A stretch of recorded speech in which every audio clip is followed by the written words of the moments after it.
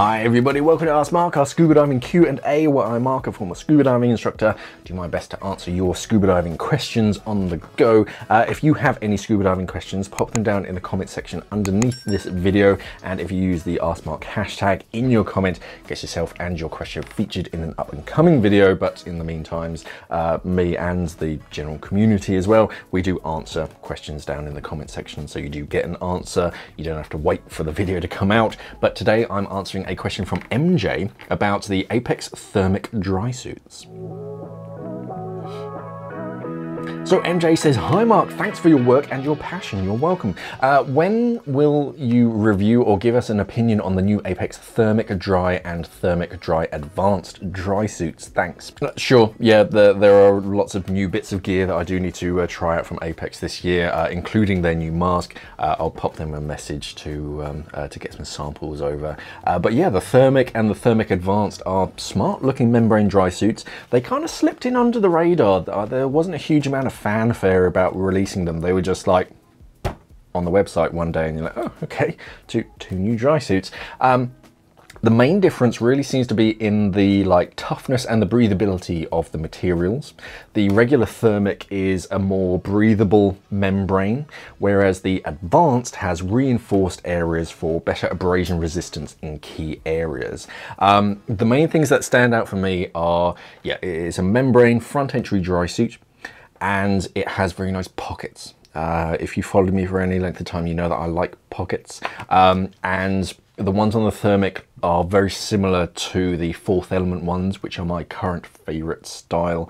Uh, they got Velcro openings, big, big pockets. They've got zippered um, uh, pockets on the like the outer flap of the pocket as well, and they're separated nice, nice looking pockets on this dry suit. Um, the seals as well, they're silicone seals. They use SiTech seals, which are the same ones that I use on my dry suit. Just allows you to quickly swap them over. I actually had to do that yesterday because one of my cuff seals ripped. And yeah, it's just as easy as you just have this tool and you just pop out the, uh, the cuff ring system.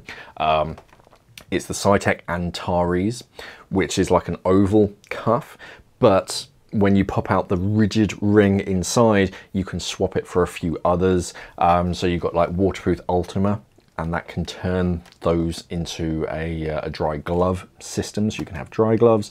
Uh, SiTech of course have their own like oval and round shaped dry gloves that go into it. I think the fourth elements uh, lips also fit into it. So very, very easy to fit dry gloves onto them, but also to swap out those, uh, those cuff seals and the neck seal as well as the more flexible ring. So you don't have this rigid plastic uh, like halo around your neck.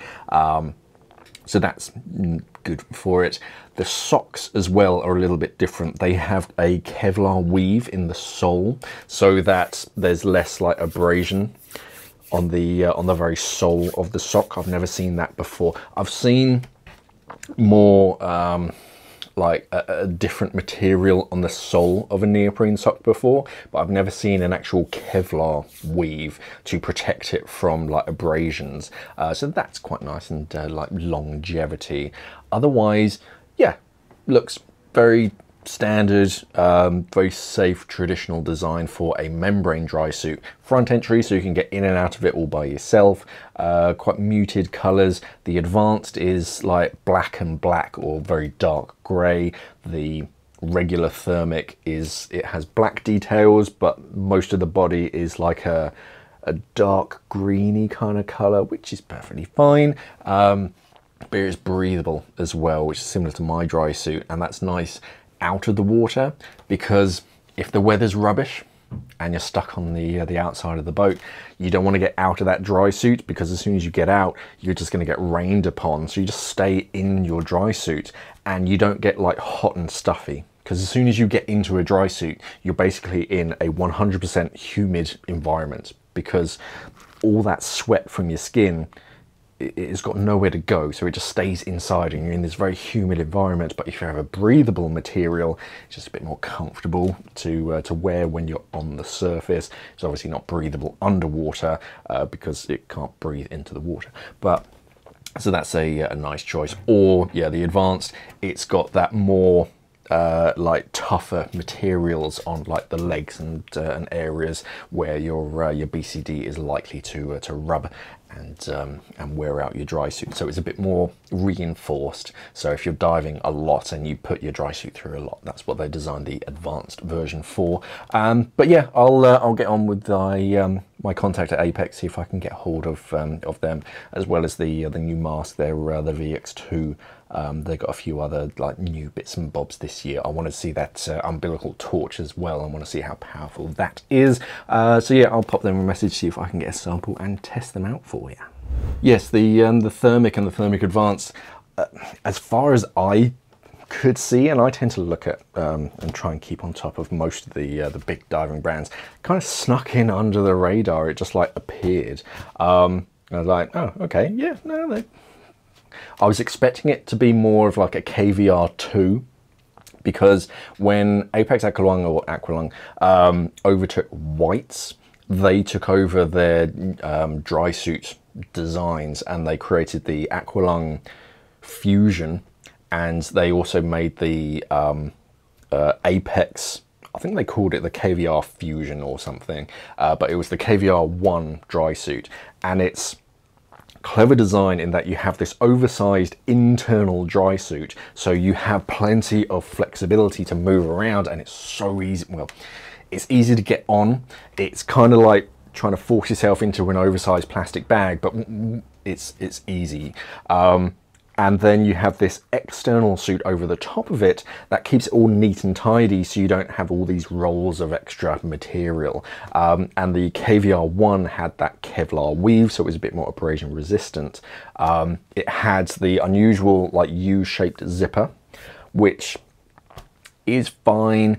You can do it by yourself, but it's not always the easiest. It was a brass zipper as well. So trying to pull a brass zipper yourself around a corner, around your shoulders was a little bit tricky, but it could be done. And they, that started to sell out and then it kind of went quiet. So everyone was expecting like an Apeks KVR 2, like an upgraded version, uh, but they brought out the Thermiq. And you're like, oh, okay, I was expecting a KVR2, but they brought out the, uh, the Thermiq, which is a bit more of a traditional front entry design, cross the body, uh, like plastic zipper, which is perfectly fine that there are plenty on the market and, um, and they're following that traditional design. Uh, so hopefully somewhere behind the scenes, someone is working on a KVR2. Um, but yeah, it just kind of popped up on a few websites and, uh, and Apeks never really did a whole song and a dance about it. Um, which I was kind of expecting when it was uh, released, but no, they just kind of slipped it in under the radar. Um, and yeah, it's, it's for sale on quite a few websites out there. Uh, but yeah, as soon as I can, I'll, uh, I'll see if I can get my hands on one and uh, hopefully we can test it this diving season, let you know what it's like in and out of the water. Um, but yeah, stay tuned, uh, subscribe to the channel to uh, to see that, as well as others. I was talking to, um, to someone about getting some more product samples from a few other brands as well this morning. Um, so yeah, watch this space. Uh, any other questions, pop them down in the comment section underneath this video.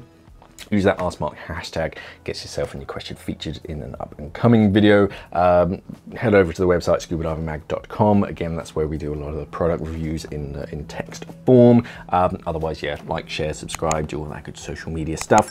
Thank you for watching everybody and of course, safe diving.